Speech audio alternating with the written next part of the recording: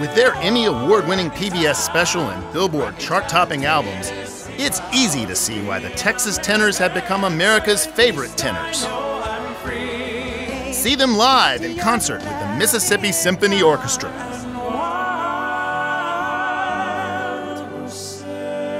An evening with the Texas Tenors.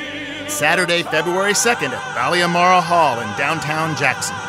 Tickets at msorchestra.com.